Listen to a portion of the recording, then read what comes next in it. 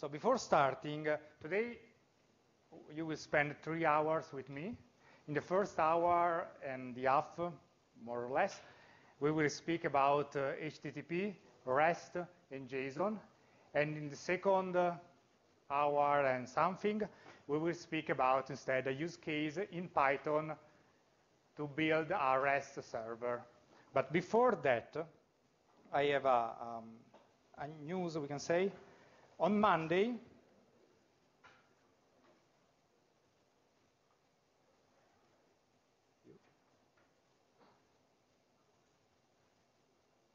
on Monday, that is the 24th of April, right? You have, uh, as you, usually, um, La Dispe, in six, six, 16, 17, and 30, as usual. And then we have the lecture, 17, 30, 19, as usual. The not usual things is that is not here, but will be in room 1I. Okay? So the lecture on Monday, just on Monday, will be in room 1I, not here, because we need, we, we will cover the Philips Hue, and so I will bring the, the Philips Hue lamp, the Philips Hue bridge, and uh, uh, this system is not suitable for recording the screen and the Philips Hue bridge and so on, so we'll move in room 1I when there is the, the, the students that will record with the not, the self-registration system, but the real registration system of the Polytechnic with a person that uh, moved the, the camera and so on. So the, the, news is Monday there is lecture, there is lesson, yes. In the first hour in the half in La Dispe, and the second hour in the, in, uh, the half in the room one here, one high instead of here. Okay? So this is the, the great news.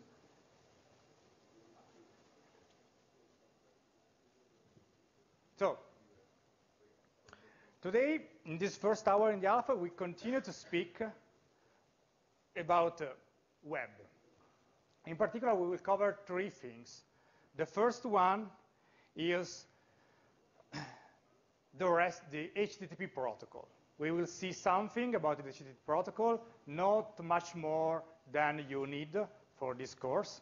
Then we'll move to the REST style, architectural style, that is based on the HTTP protocol. That is why we covered the HTTP protocol before. And then uh, I will give you a brief introduction to JSON, that is uh, a data interchange format that is quite used uh, nowadays in the web for the APIs and so on. So the goal in this first hour is, first of all, under understand the main communication protocol, the main feature of HTTP. And second, how to use REST architectural style to integrate remote service, that is to call existing RESTful, REST-based architecture, REST-based server, that is called also RESTful server, RESTful API, and also offer in your own application, in, in your own prototype, some RESTful services.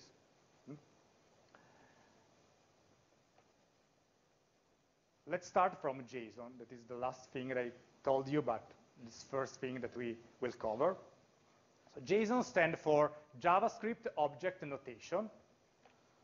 Is, by definition, on uh, its website, is a lightweight data, for, data interchange format, easy to read and write for human, and easy to parse and generate for machine. This is the official definition. JSON is a subset is related to JavaScript that we will um, tell you something during the next weeks. Uh, and is a data interchange format. So a textual format made for exchanging information between client and server, between computers. Hmm? Is one of the data interchange format that is almost standard and use in the world. JSON is a, has a logical structure that is quite simple and is built on two structures only. The first one is a collection, and the other one is an array, a list. The collection is start with this parenthesis and end with this parenthesis, while the list, the array, start with the square parenthesis and end with the square parenthesis. This structure can be combined together. You can have an array with inside a collection, with inside an array, with inside a collection, etc., etc., etc. An array is a list ordered of values, one values for each element of the array. So an array has one values, comma, another, another values, comma, another value, and so on. A collection instead is, a, is an item in a collection is a pair of name and value. Hmm? This should uh, remind you two things in Python. What this in Python is a the same here. This is a, yeah, a list, like in JSON. And this is not a collection. In Python, we call it, uh, we call it uh, dictionary. And we will see briefly now that uh, this is very important because Python is able to take a JSON and each time it found a collection, it automatically converted the collection in a dictionary. And every time it found a list, in this way, it automatically transformed the list in a list in Python. So every JSON collection will become a Python dictionary, and every array in JSON will become a Python array, a Python list. So a JSON looks like this thing. You see, in this case, we have a, a collection that starts here and stop here. And inside the collection, we have a key and a value. Then we have a comma, and then another key and another value, and so on. You notice here that the name values, the pair name value, key value, could be of two types. String, that start with this double quote and end with double quote, like first name, John Smith, last name, address, and so on, and number that doesn't start with uh, double quotes. In JSON, you have these three, you can say, data structure. String, words, number, and booleans, true and false.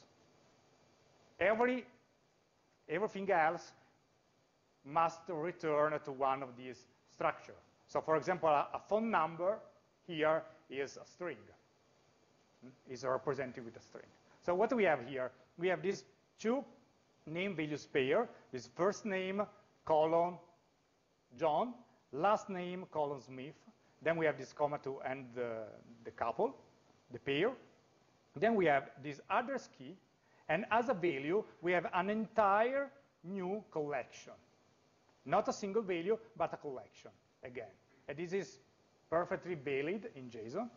So we have a new collection that starts with this parenthesis and hence here, and inside it's a collection. So we have and other pairs, key values, key values, key values, key values, with, where this value is a number and not a string.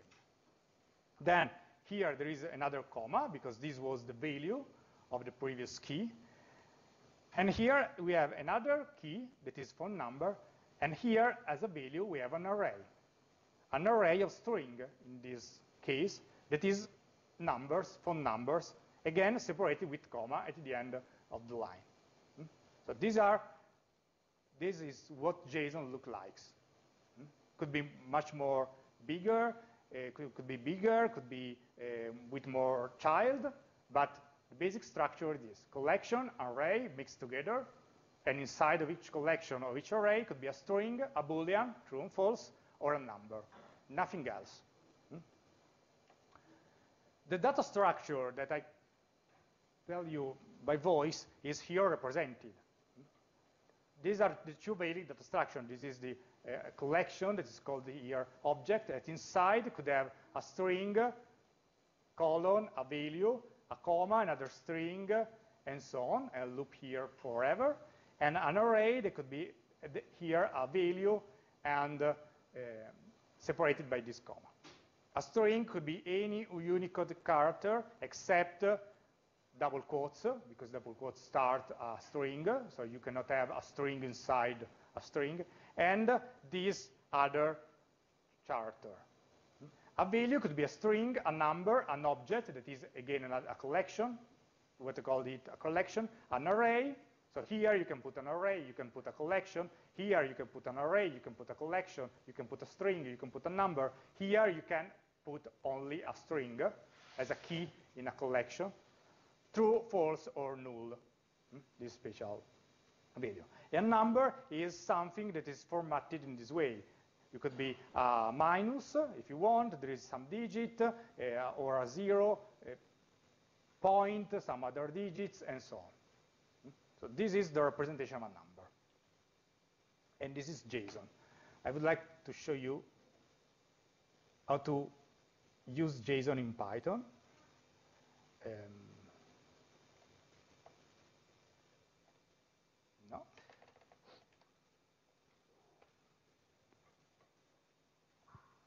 So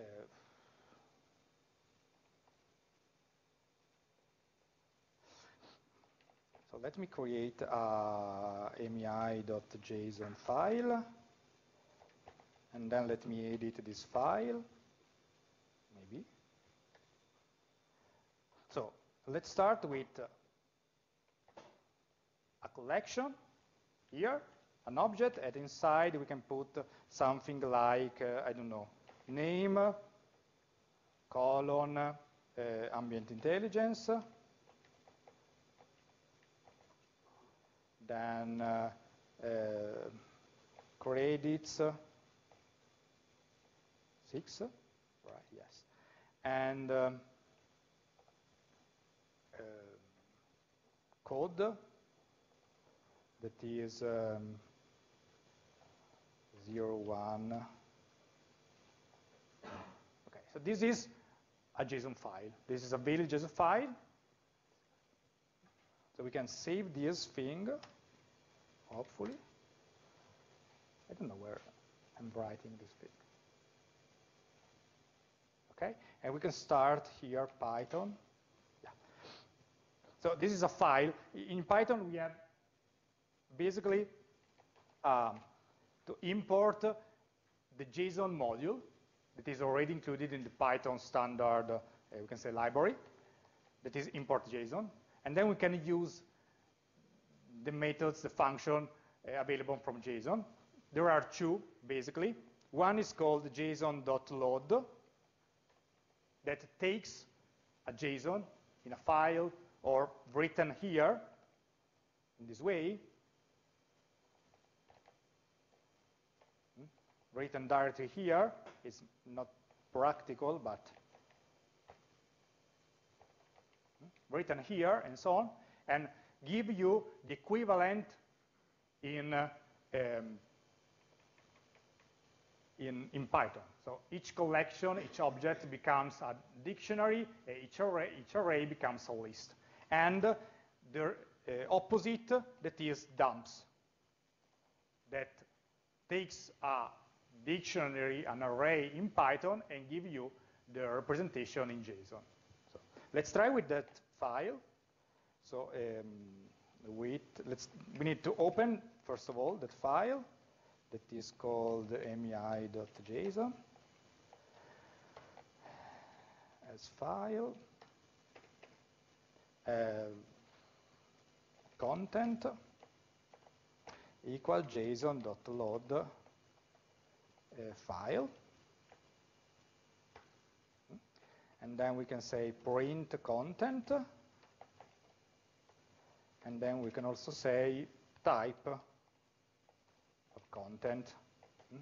just to check that effectively is a dictionary and array what, what is. So if I print the content, you see that it's printed correctly, is, is what expected, is what is present in the file. And this is a, is a type dictionary because here we have only a dictionary.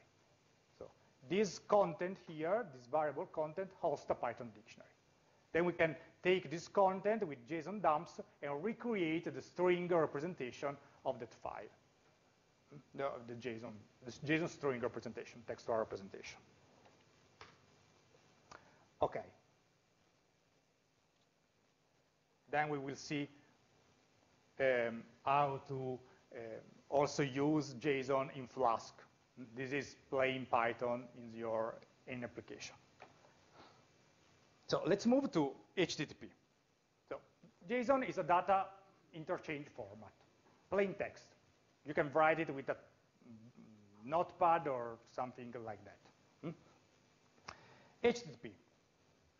HTTP, as you may know, um, stands for Hypertext Transfer Protocol, where the, the other T is this one, uh, is the network protocol used to deliver all data over the web.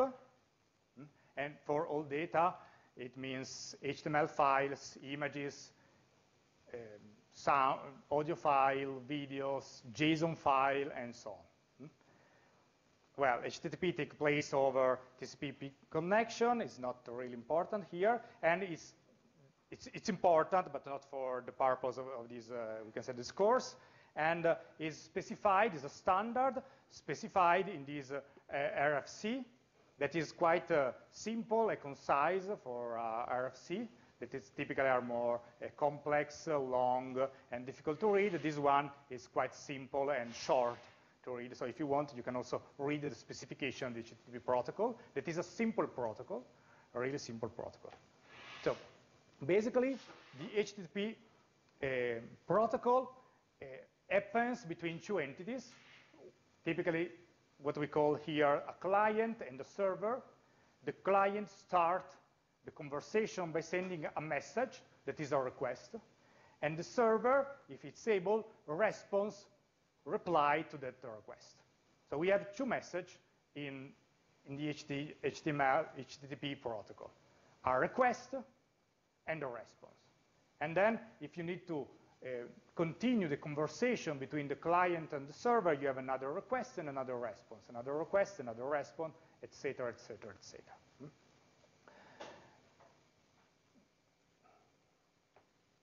HTTP messages are, as I told you, simple. Uh, HTTP message, be request, be response, no matter, are structured in this way. There is an initial line, always, that is composed by three uh, Uh, blocks, we can say.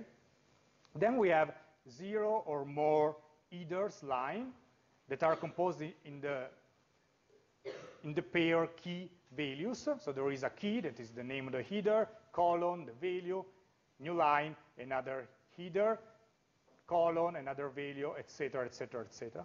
Then it could be a body of the message, of the request, of the response. It's optional, not always is present. Sometimes it's present, sometimes not. If it's present, it's always started by a blank line here. Hmm? So the basic structure, when the body is present, is initial line, series of header, 1, 2, 3, 100, new line, blank line, and the message body that is here, is deeper than this. Hmm? So this is an example of, the of our request and our response. So we can notice some things. The first of all, the request is composed by three elements. This first one, this other, and the third here. And the response is composed again by three elements, the first, the second, the third. This is the initial line I told you before.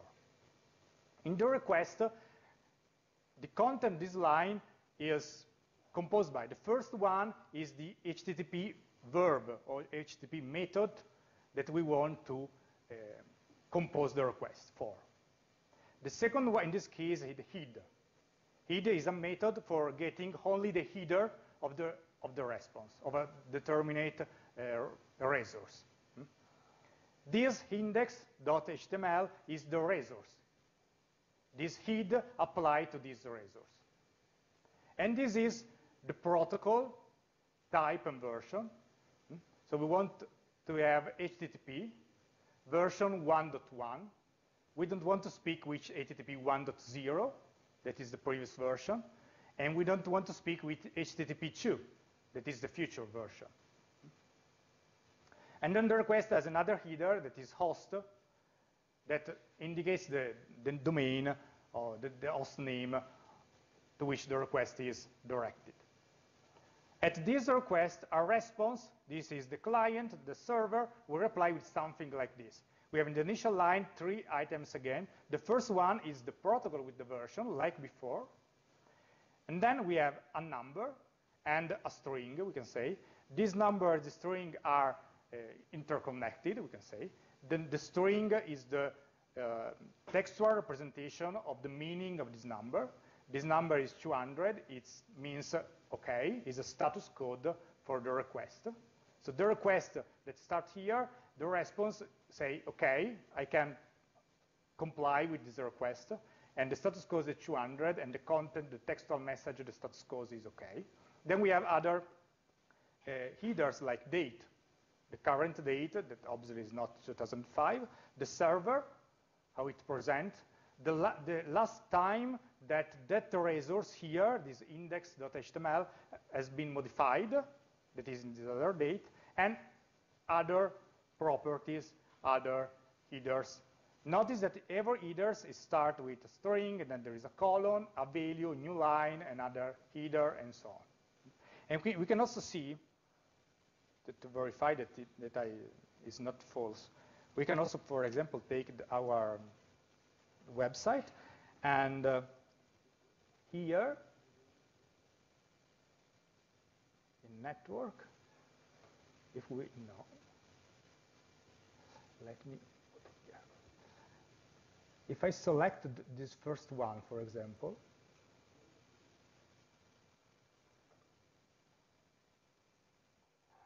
the browser, you already know from Flask, from my lecture of some weeks ago, that when you type here an address, you send a GET request to that domain.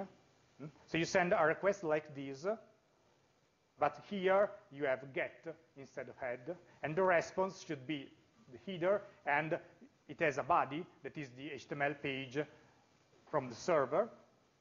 So here we have, we can see that is the a request header, and we have, for example, that the host is didattica.polito.it because it's where the request goes.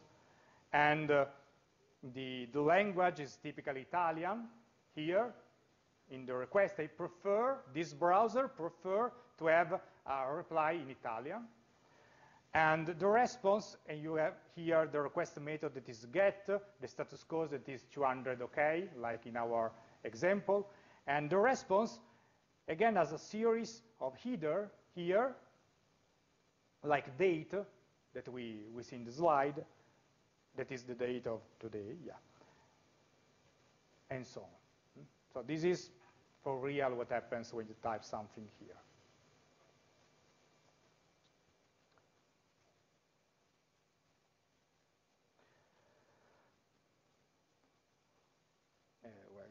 I already told this. Um, there are, these are all the HTTP method available or verb available. We, we see the head in the, in the example. The header request gets just the HTTP header of a domain, of a host name. Only the header, not the body content. A request could, be, could have um, a body, and a response could have a body.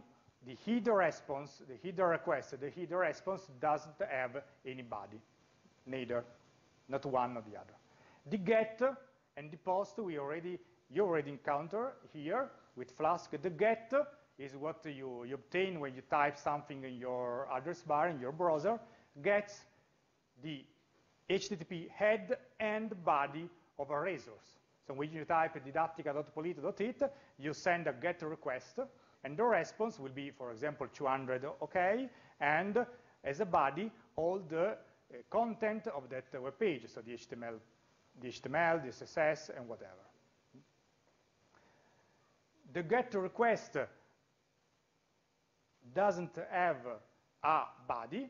The GET response typically has a body because it's the response of the content that you required for that resource, the representation of that resource in a browser and HTML file.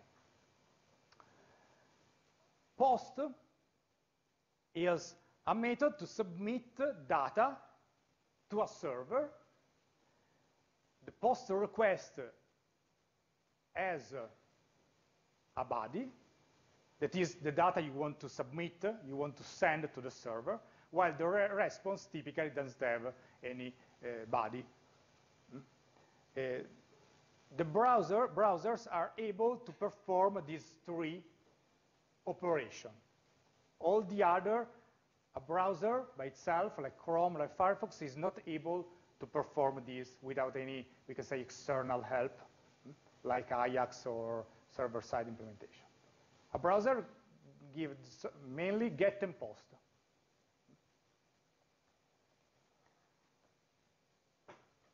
Where do you do you encounter the where do you encounter use the post here in this course? In which uh, in which occasion do you use the post request?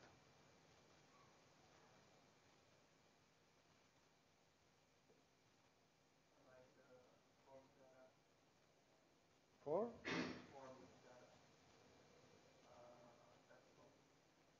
Yeah, for sending text box when you perform the login operation with Professor Corno. You send login, login data, username and password, typically, in a post request. At the body of that request is the content of your username and password. Then the other methods, we will, uh, we will concentrate mainly on put and delete. Put is similar to post. It has a body in the request. It doesn't have typically a body in the, in the response. Uh, submit data in the body to the server, but to typically update an existing resource. So in a traditional website, with the get, you uh, get every page.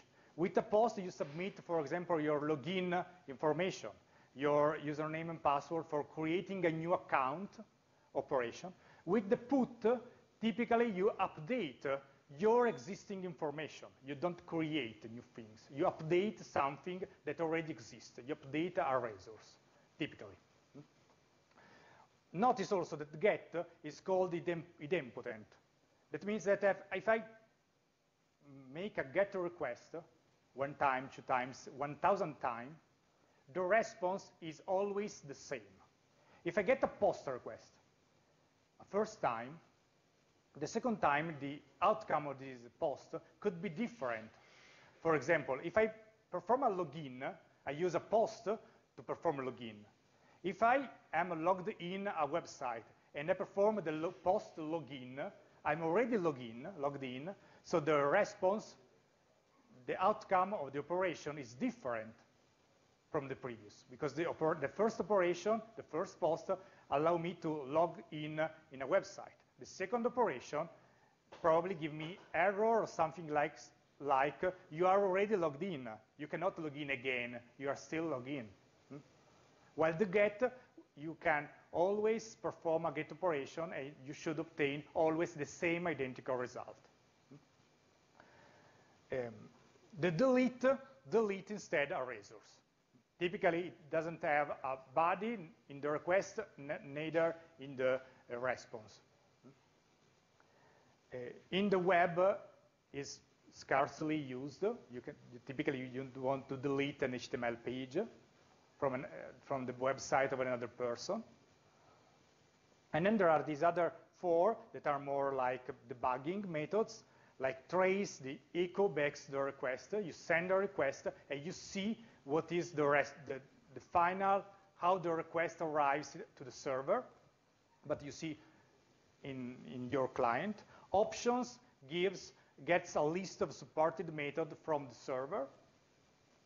Uh, connect converts uh, its converts a HTTP connection to towards HTTPS, a secure connection. And patch is similar to put, but apply only partial modification to a resource, while put it's mean, put is for apply total modification, replace a resource at all, an entire resource, not only a portion of the resource. Hmm?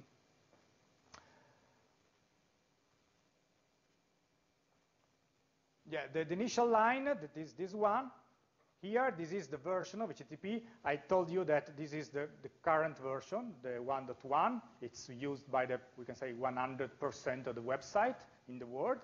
There was a 1.0 version that now is practically not used.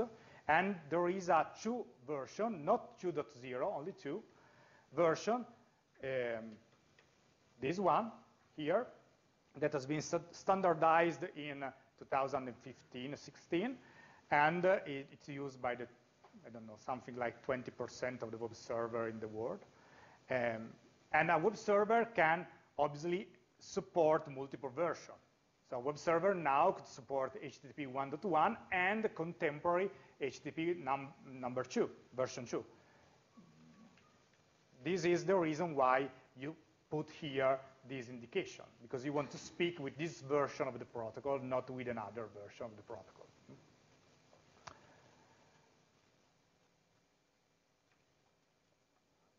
In a response,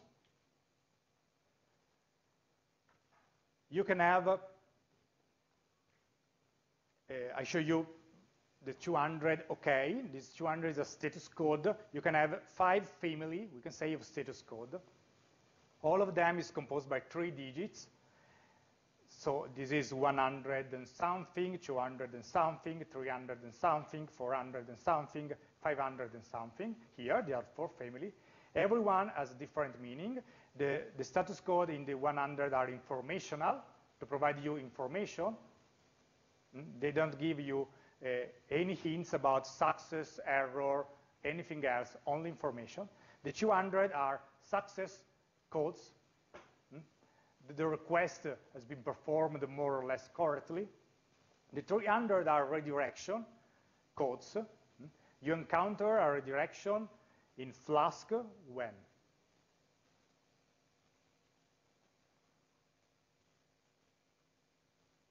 You write somewhere with Professor Corno before Easter, redirect, open parentheses, uh, URL for home, redirect to the home page.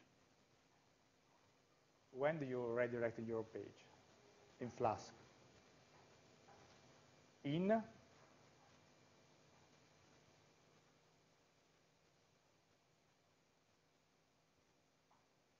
any hints? You will have, you, you realized a web application, yeah, right, more or less. Yes or no? Yes. That has two functionality, three pages, we can say. A home page, right? A login function, right? And a logout function. Stop here in, in classroom. Then last Monday, two months ago, you also realize something more, a little bit more complex in, in, in LaDispe. But in that lecture, you have login and logout. That was to post. In one of the two, you use a redirect to the home page. Also think to your experience with a traditional website. When you log out or log in, you, you go on Facebook, you log in from the home page to Facebook, and you go where? to your home page. It is different from. And then when you log out, what happens? The main public home page. And you, this operation typically is a redirect because you log out also in, the, in your application, in the application that you build in Classroom, if you look at the three lines of code, two lines of code inside the logout method, one, the last one is one is to clear the session, and the other one was to redirect to the home page because you log out, so you lose the control of the logged in pages, you go on the public page. So this is a redirect, and the browser send a 300 something status code in that case, because you move from one page, this is the logout page, to automatically to the home page. Hmm? And then the other two families are for errors. The first one is the 400 and something are for client errors, and the other, the 500, is for server errors. You encounter this one, one of these several times, probably in your life. What message code you see several times, sometimes in your life? 404, not found. This is a client error because if the request, if the resource exists on the server, the server is able to provide you. But it's your request that is wrong because you type something that is not valid. Let's try with, uh, for example, I know for sure that uh, if I, in GitHub, yeah, this is the page that is associated to the response 404 this is the web page you are not looking for. That is not the, the official uh, translation, the 404 message code, but it's the 404. So when you type something here that is not valid, does not exist on the server, it's a client error. because the server is able to provide here, for example, um, Python web, hopefully, yeah. So if it exists, the server is able to give you to give you the, the right resource. If it's not existent, then it's your fault, not the server. So let's see some of these uh, status code, not all of them. Hmm? So uh, here, for example, in the 200, you have OK. 200 is a status code for OK. That is what you hope to, to have for most of your um, navigation browsing the web. Okay, the, rest, the request was successfully, this is your response. Great. The 201, for example, is when you uh, send a post.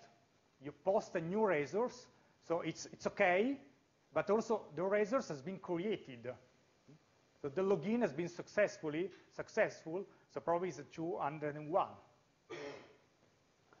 The 204, for example, is when the, the uh, get response return without content, for example. If it happens, could be no content. The 300 uh, here, for example, are the moved permanently uh, and so on, are these redirect, 301, like the logout, because you move from one page permanently to another page. And here you have the 404, not found, but you can also have, for example, the 401, unauthorized. You are trying to access a resource uh, that you have no authorization to look for. Or bad request. You are making a request that is not complete, not, uh, not, not complete, typically. Or forbidden, similarly. Uh, blocked by Windows parental control is Windows only. Um, and then, for example, you have the 500 internal server error that you will experiment several times during uh, the creation of your project, because Flask typically, when you made something wrong or you have a bug, will reply 500 internal server error. And you have to, to understand with, where is the error, which is the error. So these are error from the server. The request is correct, It's the server that before providing the response made some something, encounter a bugs or whatever, and is not able to provide a response, a correct response.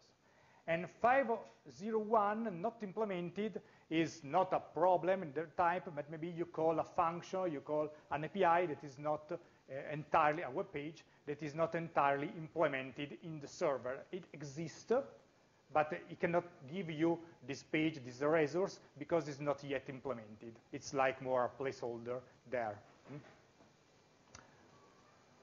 and so on. But these, just to know that they exist, and because some of them you will encounter some of them in your uh, in realizing your project. Um, okay, these are some headers that are specifically for request. We, we don't, you don't, don't have required to, to learn all of them. We don't use it. Just to, just to have present that they exist. Typically, headers from request and response are automatically set from the server, from the browser, or from your application. So you, in, only in some cases, in few cases, you need to add the specific request headers to the request of the response. In the request header, there are some of them. The only mandatory header that in fact is present in our example is host, that identify the host name of the request, destination of the request. Another request header that we'll encounter is this authorization that uh, it's useful when you want to uh, perform a request with an authorization. So for example, Twitter or Facebook eh, has the, some APIs, more or less REST, we will see. And, but you need to be authorized to use this API to receive the response. So how you are authorized? You're authorized by login to, to the service or by asking for a code, a token to be used. This token is typically put here in this authorization header, hmm? and so on. Similarly, we have response header. None of them is mandatory. Uh, and general header for request and response, like, for example, date that we see before, or upgrade if you want to move from HTTP one-to-one, upgrade the, the, the, protocol to uh, HTTP 2, for example, you, will, you can use the upgrade header to indicate an upgrading protocol. The message body,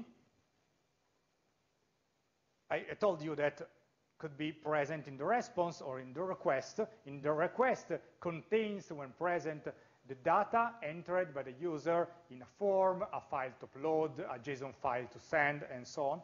In the response, contain the resource, the index.html page, returned to the client, and this body could contain images, HTML uh, file, plain file, uh, plain text file, JSON file, and so on.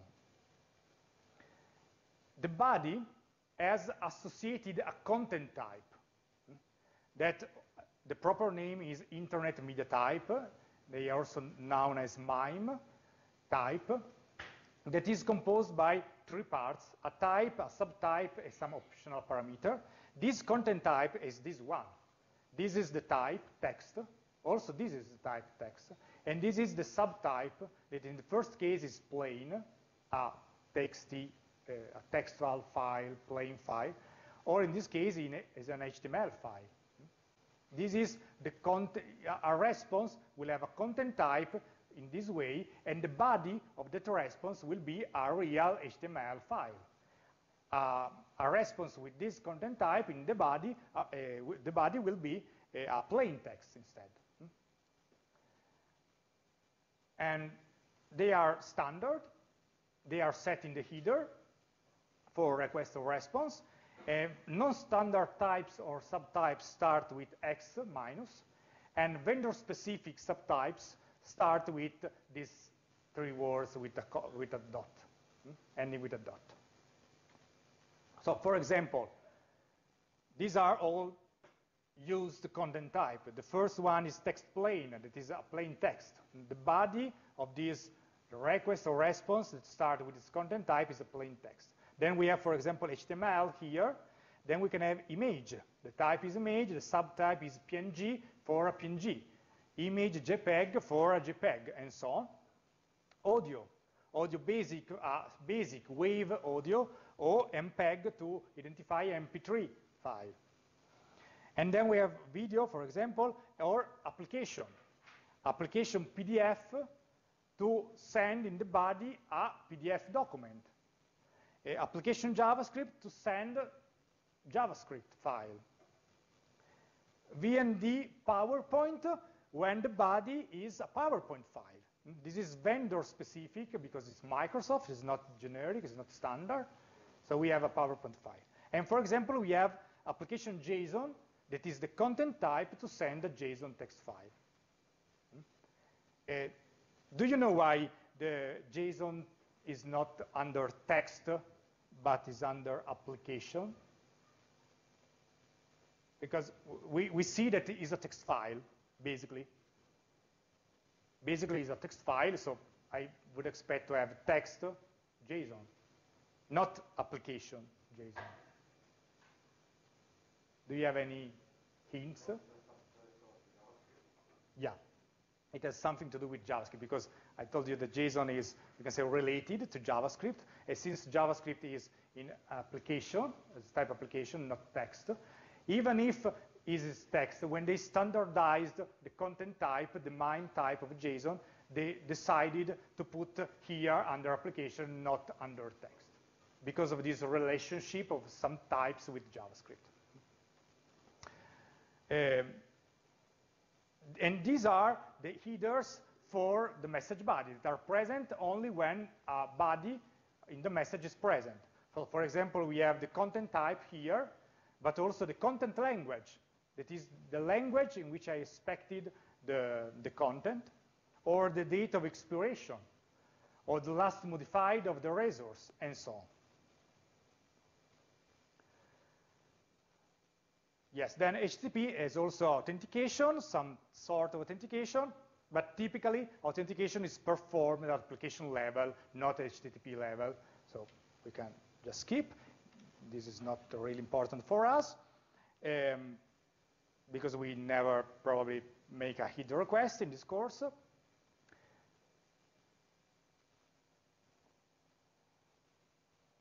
Uh,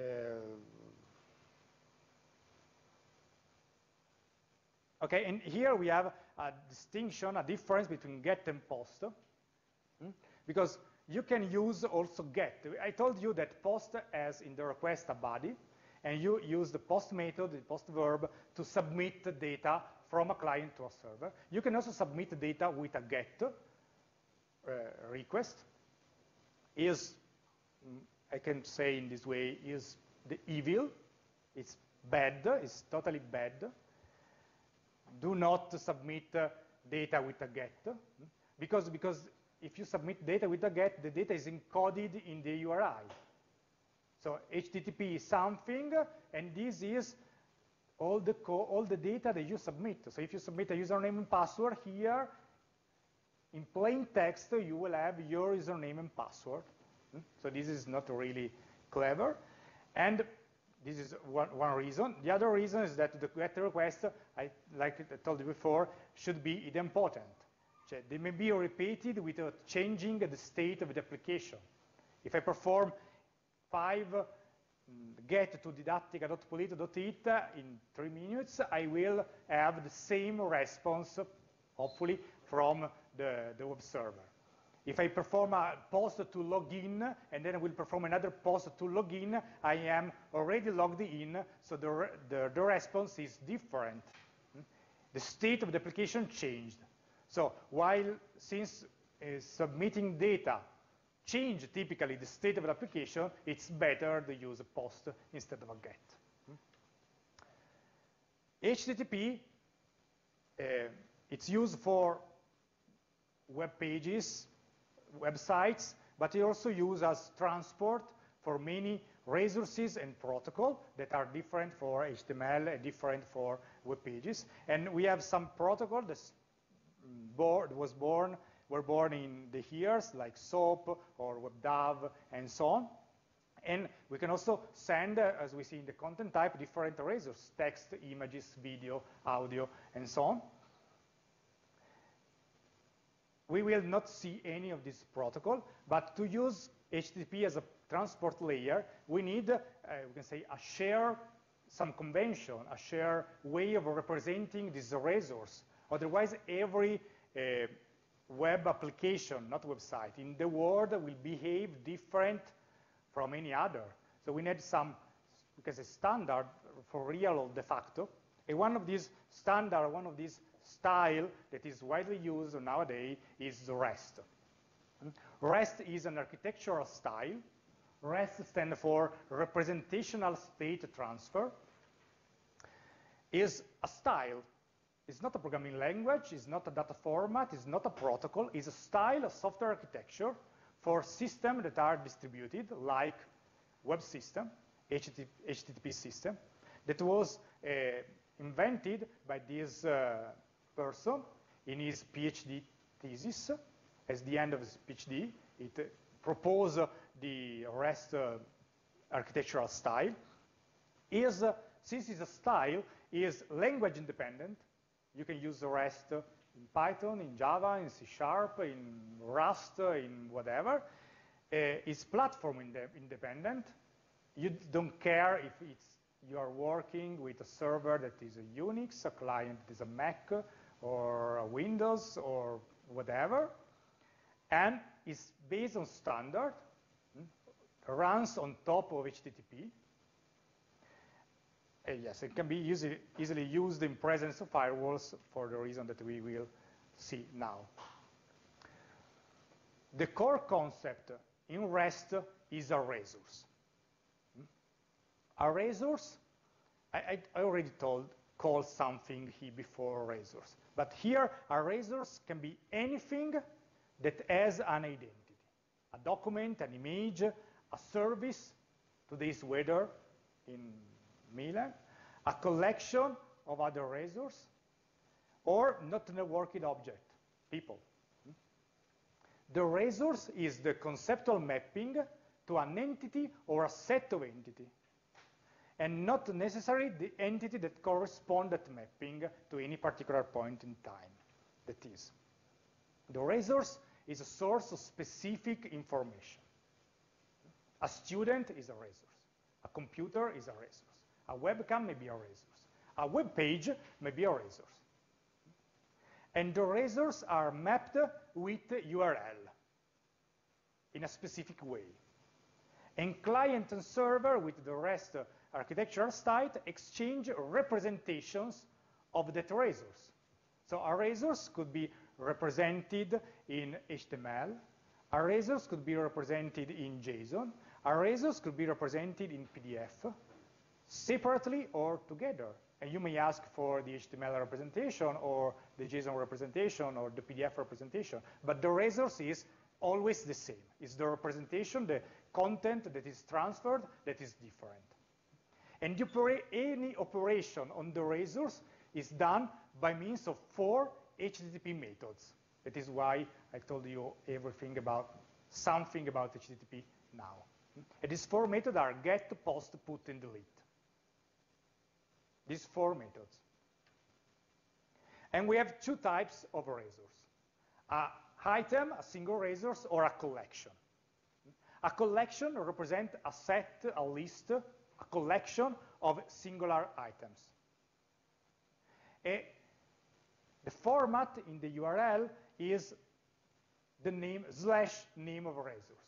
So for example, if we imagine that the Politecnico has a, a public API for giving the, the students, all the stu enrolled students here, here in the university, in JSON format, it could be represented, the, the, students collection, all the students of this university, could be http api.polito.it slash students. This is the collection of students, or for example, the collection of courses. You get every single, for example, courses taught at, Politecnico. An item, an element, instead is a single specific item with its property. And the format is the resource, the collection, defined before, and the identifier.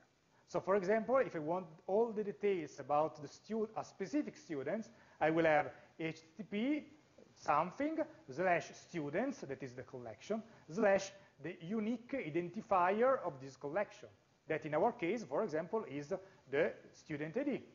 So something like S123456. Uh, or for the courses, if you want uh, all the property of this course, we'll have courses slash uh, 01ZQP.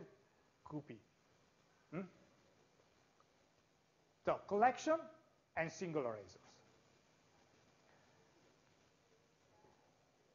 collections must be nouns, not verb. Students, it's okay. Waders, I don't know, it's okay maybe. Courses, it's okay. Universities is okay. Uh, devices is okay. Users is okay. Not verb. And collections are more items, or typically there are used plural names. Universities, students, and so on. And concrete names. Courses, not items, or university items of things that happens in university. Specific name, concrete name. Courses, students, not person enrolled in university, and so on.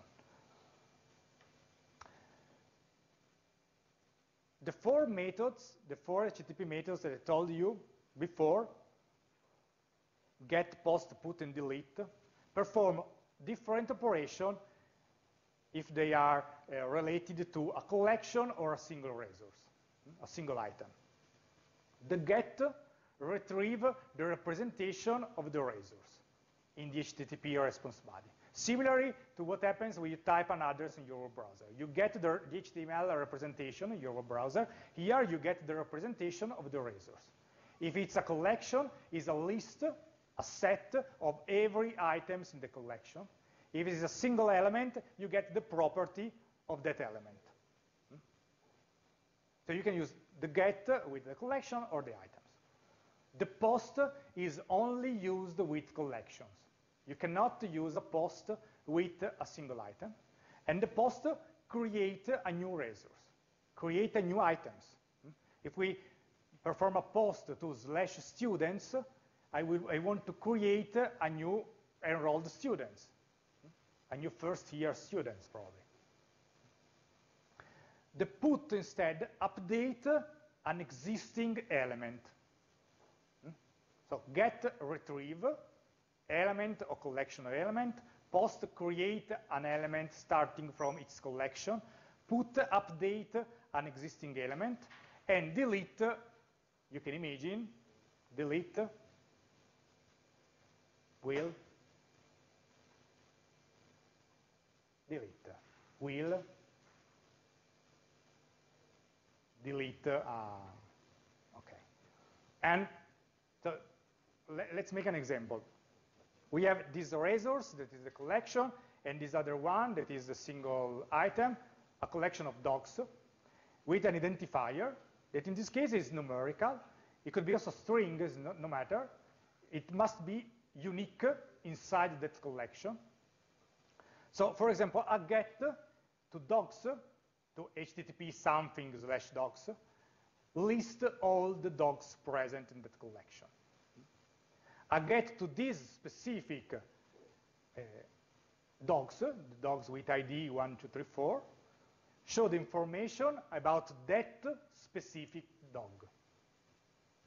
A post with a request body that contains the description of the dog to be created to the collection, create a new dog, while a post to a specific resource, a specific item, gives error.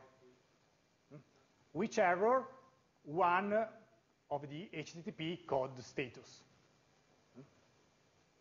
For example, 500 internal server error. A put on the resource is, we can say, allowed. On the collection is allowed, but is typically to be avoided.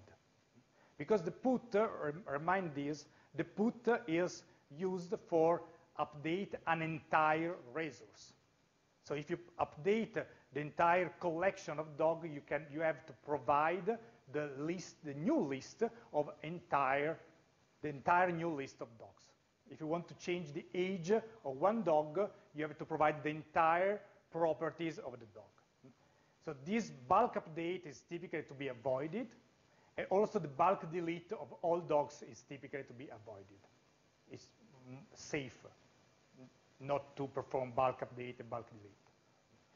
Instead, I put on this single item, if the item exists, update the information about the dog with ID 1234, and a delete on this single item, delete the dog with ID 1234.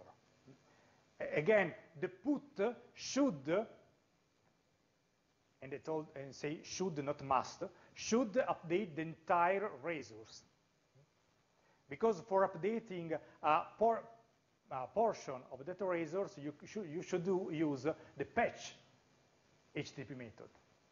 But in practice, it's acceptable to use the put to update a portion of a resource.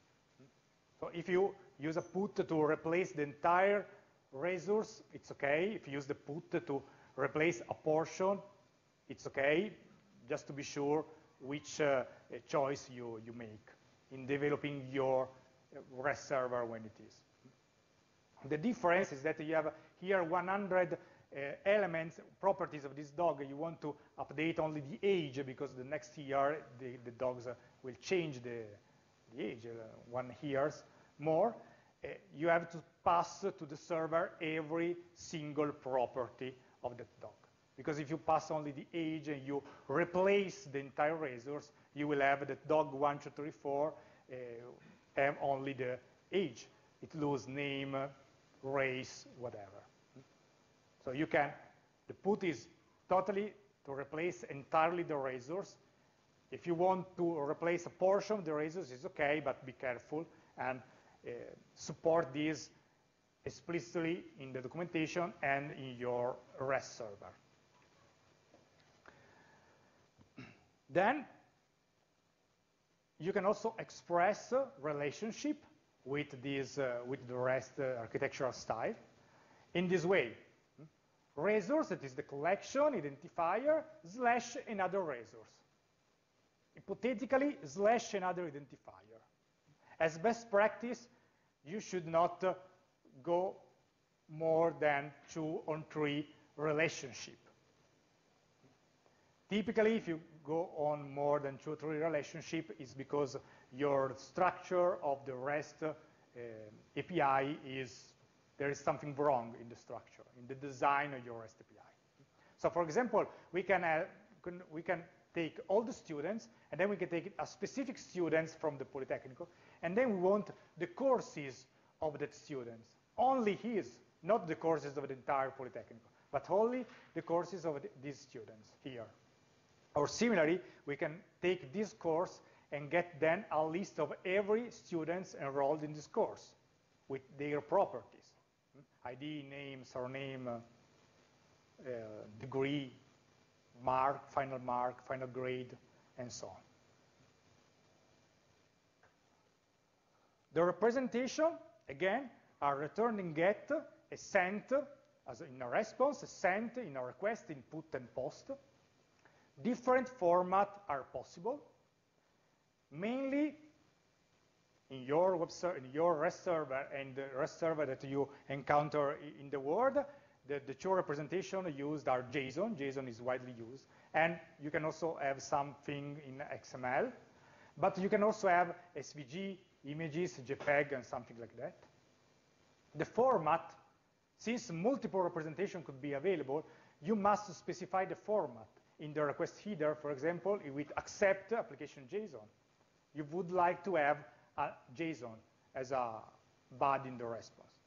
Or as an URI extension. So this is the URI before .json to identify the JSON. Or as a request parameter.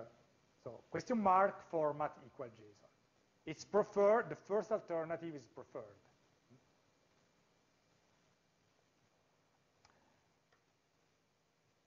So let's see, I put here three, four, three, four um, APIs. Let, let's open the first one only because we don't want to spend here one year. The, the GitHub. These are the GitHub's GitHub API.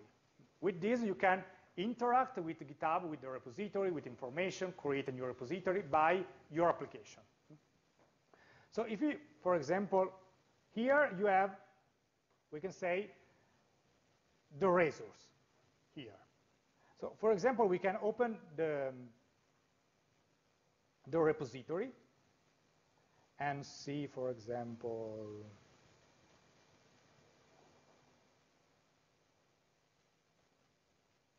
not this. Yeah. the repository. For, for example, here, if you want to list uh,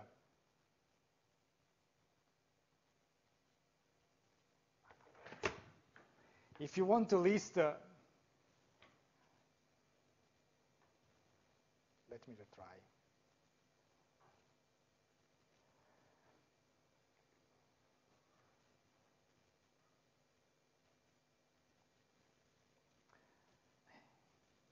so let's see the repository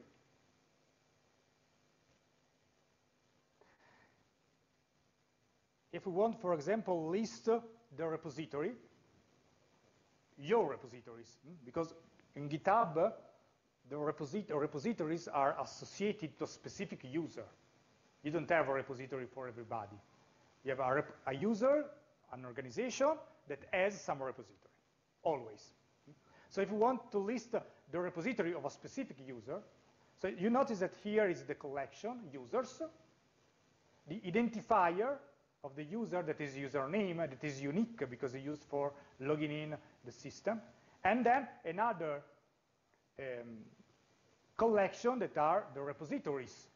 Notice that they are not singular. This is also exploit a collection. And, and for example, here, there is an, also an example of a response. In this case, GitHub give you a JSON response. So if you request uh, with the parameters written here, you have the ID of the, the repository, the owner, this is the ID, the, the username, the, the, the URL of the, of the picture, the URL of the user, etc., etc., etc. And then also the repository, the name of the repository, the full name of the repository, the description, if this repository private, is a fork, or the URL of the repository, etc., etc., etc., and so on. Mm, these are a lot of content to describe a repository. So here it describes all the repositories of this user, that is Octocat, in this, in this JSON. And so on. For example, here you can list you know, repositories Notice that they change to, to avoid confusion the, the list of every public repository stored on GitHub, no matter who is the owner of the repository. And again, this is the response. You can also create, how do you create a repository? You create with a post. Hmm? In a collection that is repos, because you can only create a repository if you are logged in so you don't specify a username here, in this case, but with this user, it identified the logged in user, the authorized user, you. Because you, also in the, in the web application, you cannot uh, create a repository for another person. You can only create a repository for you. But here, if we skip this, that is for, we can say, authorization scope, scope, we have a plural collection that is the repository. And so on. This is the input, and then here we have an example of the, the request. In this, in this, way, in this case, it's a post, so we have a, a request body, and this is the request body. I want, would like to create a repository whose name is this, the description is this, the page is this, etc. And the response is this one. Notice the status, 201 created. I created a new repository, so it's not 200, okay, but it's 201. And so on. Every uh, REST REST-like server act and is described in a similar way. If we open, just for, for an example, the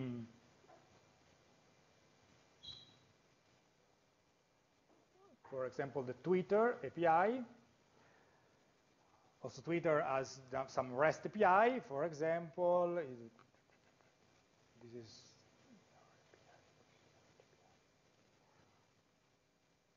Here again, you have the queries, in this case, uh, additional parameter, and there are some examples here, and so on. So every documentation is more or less structured in the same way. Here you have the resource, the post, the get, and so on, like before. And the post creates a new resource, the put update a new resource, and the get get retrieve that resource. Because they adhere to this REST architectural style. Then we have, for example, also Google Calendar API is similar, or Facebook is similar. Um, notice another thing here. You can also have a complex resource search if you want to search for something different, more advanced than single collection. But notice this here, this one-to-one, is typically you have uh, a domain, a name that starts with API, or there is slash API, and then you have a version number of that API. So that you can create the version number 2 or the version number 1.1 and maintain for a certain amount of time the API for the version number 1 so that developers could uh, slowly change the request for from the previous version of your API to the new, newer version of your API, and so on. So this is a good practice to add uh, these errors. When you have errors, as I told before, use the HTTP status code, 500, 404, and so on. Then the authentication. Some of these um, um, server APIs require an authentication. So for example, Twitter in the streaming API only requires an authorization, that is the header on the request, that is OAuth, and has an OAuth customer key, and comma, and other OAuth something key, and so on and so on. So a series of values inside the header that you get by registering your, your application, we can say, on the, on the Twitter server. Amazon similarly use this uh, type of authorization of OS with this token. And the token is given, uh, developer get this token from the Amazon Web Service. Google API uses OAuth 2. And the authorization in OAuth 2, in every OAuth 2 is written this way, bearer and a token. And again, the token, a developer gets the token from the provider of the API. So Google will give you this token to put in every request that you made. Hmm? So, some guidelines, design with standards in mind, if you need. Create should return URI, post should create should return URI, not resources. Hmm? Use the right HTTP method get, post, put, delete for the right action.